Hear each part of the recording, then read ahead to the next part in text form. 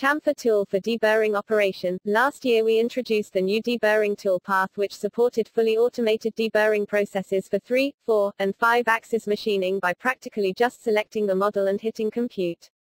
In the initial release, only spherical tools could be used, such as ball end mills, lollipops, and tapered ball end mills.